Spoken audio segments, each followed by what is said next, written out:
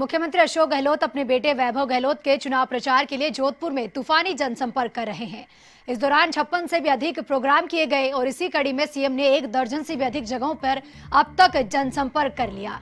वैभव गहलोत के पक्ष में मतदान करने की जनता से अपील की। सबसे पहले CM Ashok Gehlot Ratanada youth hostel के पास माताजी के मंदिर में दर्शन के लिए गए और लोगों से वैभव गहलोत के समर्थन में वोट की अपील की।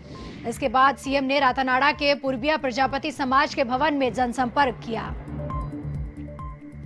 जोधपुर दौरे पर है आज सीएम अशोक गहलोत और अपने पुत्र और साथ ही जोधपुर के कांग्रेस उम्मीदवार वैभव गहलोत के संबंध उनके समर्थन में आज जनता से वोट की अपील की।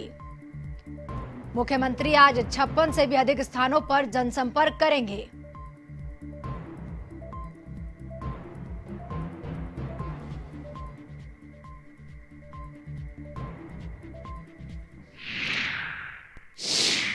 हम जालोर, अजमेर और कोटा। जाके आए हम लोग। सब जगह एक सा माहौल है।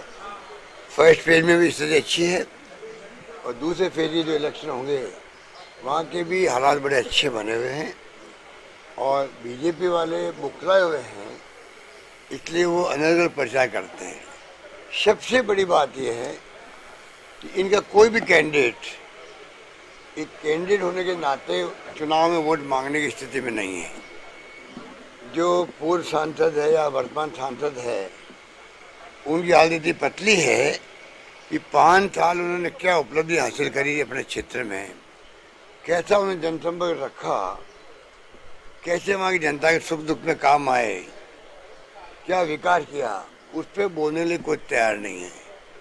सिर्फ़ मोदी, पाकिस्तान सेना इस प्रकार से लोग गुमराह कर रहे हैं। मतलब कहने का मतलब ये पाँच साल को मौका मिला, कोई उन्होंने काम किए नहीं ना जनता संपर्क किया हम गवर्नमेंट में रहे, इधर तमाम जगह पर इनकी बहुत हालत पतला है। सब मोदी जी नाम वोट मांगते